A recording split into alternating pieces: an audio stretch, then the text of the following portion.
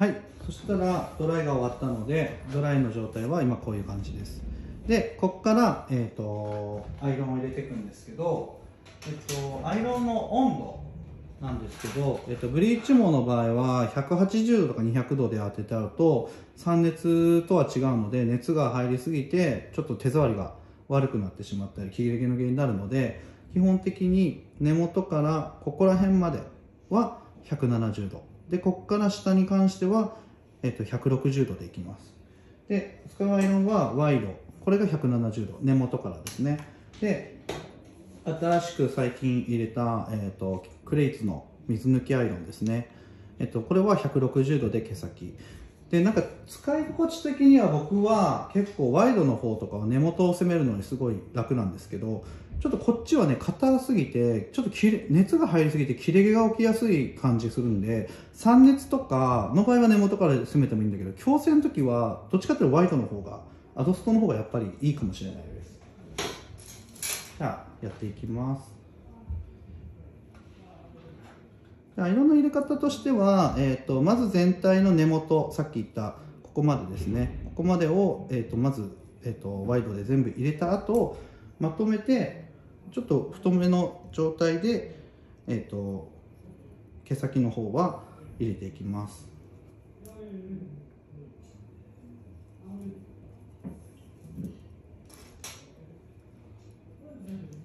でちょっと短いんで何個かに分けて分けていきます。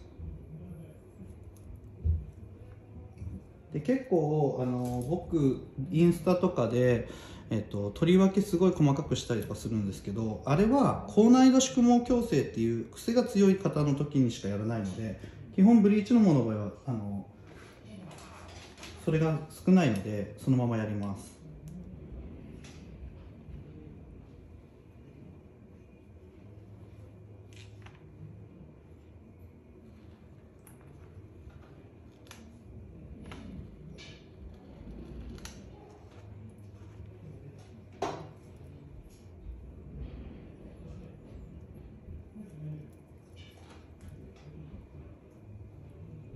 であくまで酸性系の矯正になるので、えー、とできるだけ熱はしっかり通るように入れてあげてください。温度はあれかもしれないけど水水水分が残らないようにしっかりと入れてあげるのがいいと思いますで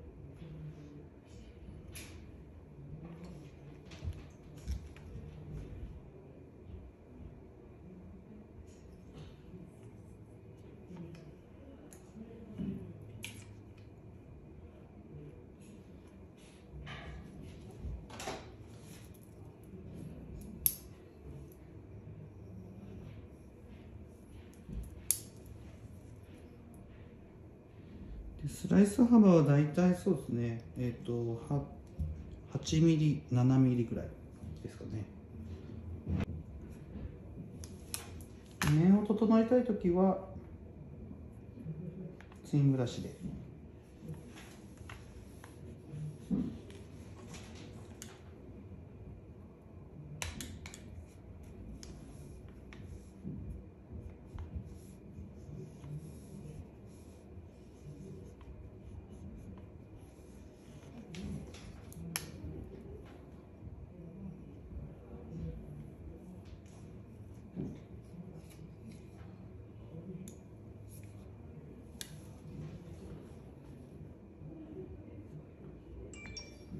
で酸熱と違うのは、えー、と酸熱の場合ってアイロン仕上げなんで結構ダウンステムで入れること多いと思うんですけど矯正の場合はここから2液つけたりするんでできるだけアップステム。アップステムすぎてもあれなんですけどちょっと持ち上がるぐらいで。根元からしっかりと進める感じです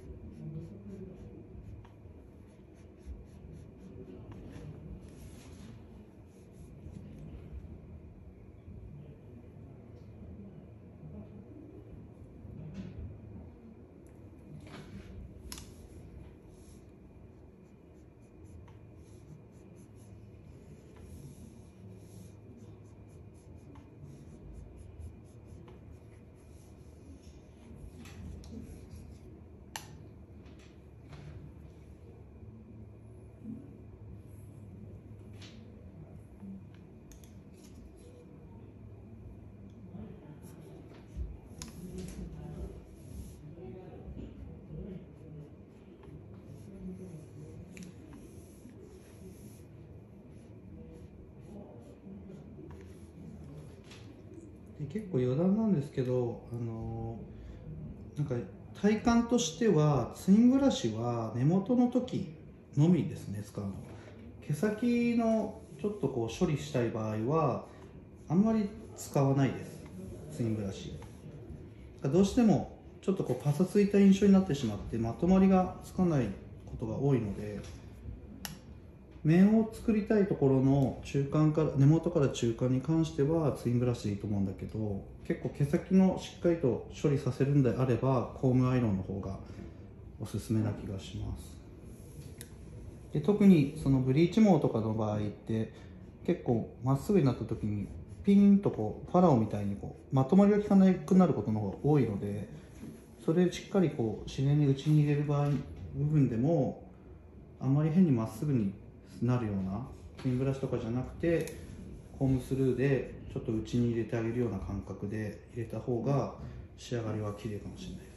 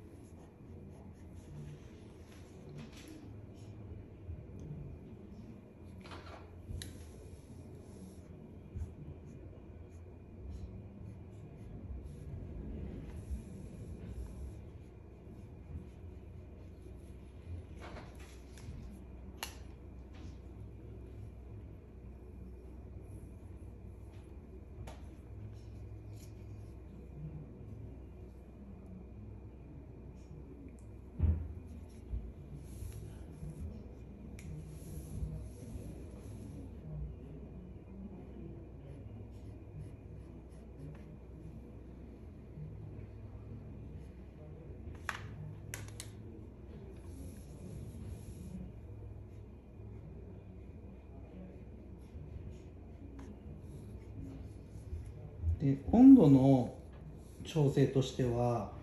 えーと、ブリーチ毛の場合、えーとまあ、基本的に11とか、えーと、それ以上のものを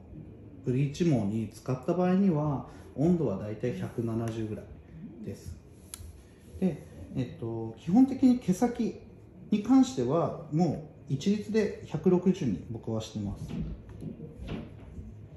なんでかっていうと毛先の方がまあ当然ダメージもあるしただ160度以下にしてしまうと今度熱が通らなすぎて、えーと、そもそも癖が伸びなかったりとかあとなんか逆にパサつく。水あの酸性領域のものになるあの酸性領域だからやっぱり水抜きっていうのをしっかりしなきゃいけなくてどうしても160度以下の場合だと相当なんか切れ毛とかもうなんだろう何してももうへにょってますみたいなホワイトブリーチになってる状態のみですね。130度とかでやるのは。ある程度切れ毛が起きてない髪であればもう160度で基本攻めます。でその代わりさっき言ったようにコームスルーのやつでやるといいといいと思います。であとはちょっとアイロンの質にもよるんでアドストとかそのラディアントとかであれば160度でも全く問題ないと思います。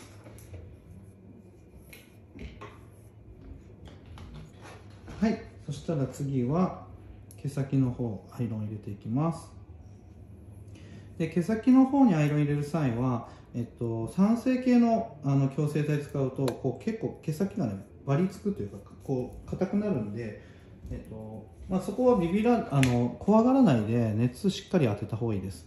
あの逆に怖がって熱こう弱くしたりとかした方が手触り的に影響を出てしまうので基本的にしっかりと熱を通してあげる感じ。感覚的にはあの酸熱トリートメントで水抜きするような感覚ですね。でただ還元剤が入ってる分そん還元剤が入ってるプラスそんなにこう前処理剤っていうあ中間処理剤っていうのをつけてないのでそんなに水分をこう含むような感覚にはならないと思うのであんまり湯気とかもそこまで立たないと思います。でたださっき言ったようにあの癖が強い方剛毛の方とかの場合、えーと、結構しっとりさせる意味で重ねる量を増やしたりとかすると水気が出て白く出るんですけどブリーチ網で基本的にさらっとさせるような感今今のぐらいのやつだったらあんまり水分保有量はそこまで強くないので出ないかなと思います。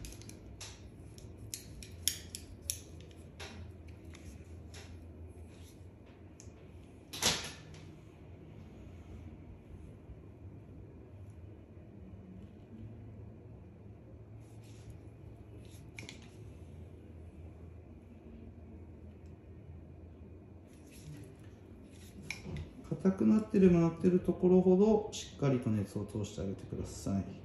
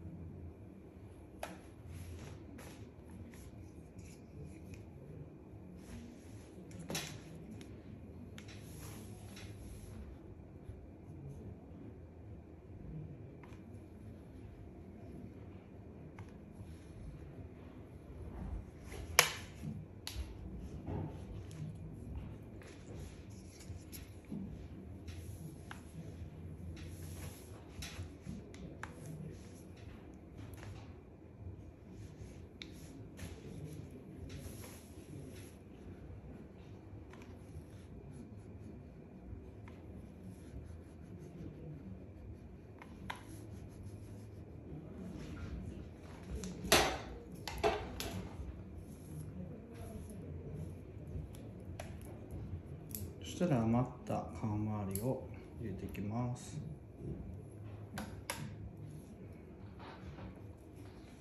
で皮周りは160度で入れていきますね。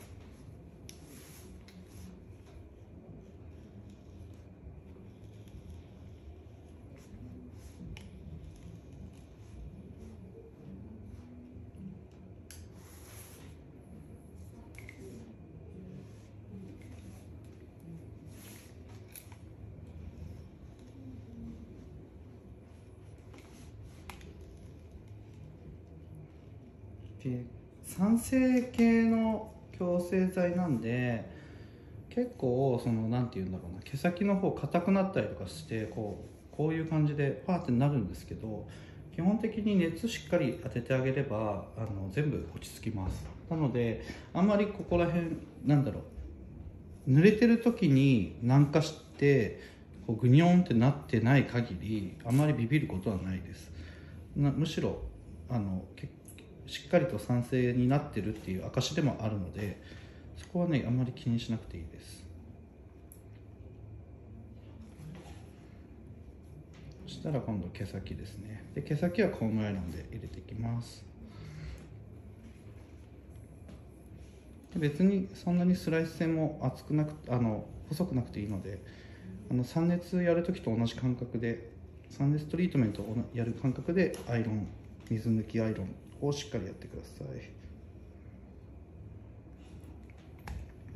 で感覚としては水抜きアイロン水抜きというかその温度で水抜くというよりはスライス幅とあの熱熱の当て方で水を抜いてる感覚。もうそもそも強制あの還元剤が含まれてるのであまりそうやって水分ジュバーとかなることはあんまないので。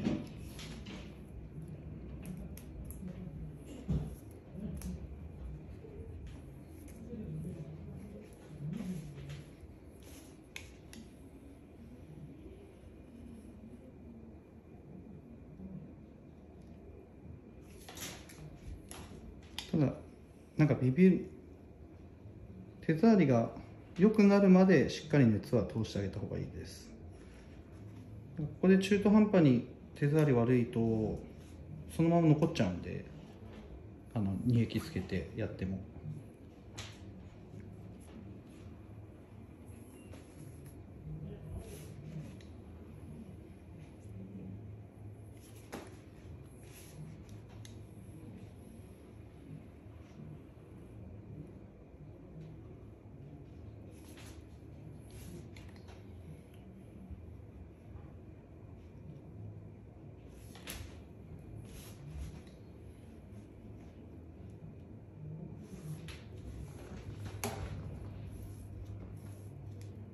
このぐらいの感覚ですね。毛先も。こういう感じで。すそしたらアイロンが終わったら最後、えーと、煮液ですね。で煮液は、えーと、結構しっかりつけてで放置時間はそんなに置かなくていいかなと思ってます。10分ぐらい置けば問題ないと思うので、まあ、10分ぐらい目安に置いてください。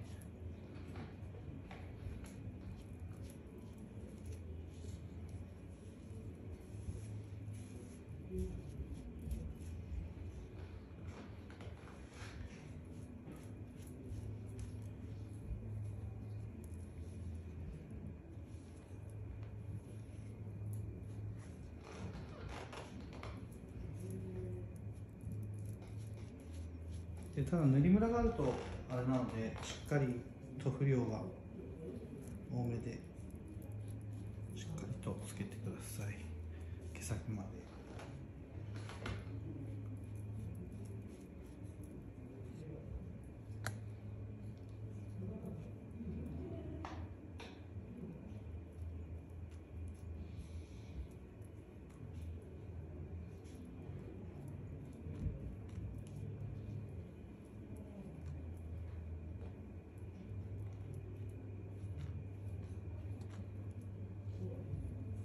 できるだけ煮液は、えーと、ストレートであんまり折り曲げないで形がつかないようにストレートに下ろす感じでお願いします。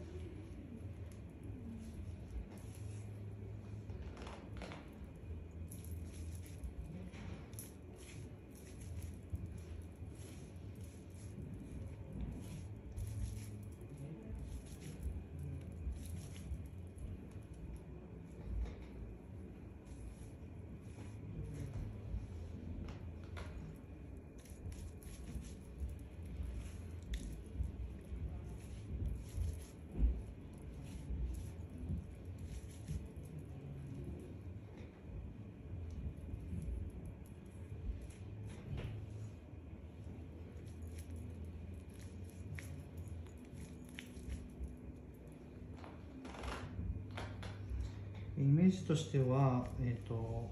ちょっとこう引っかかりがなくなるぐらいの塗布量の感覚で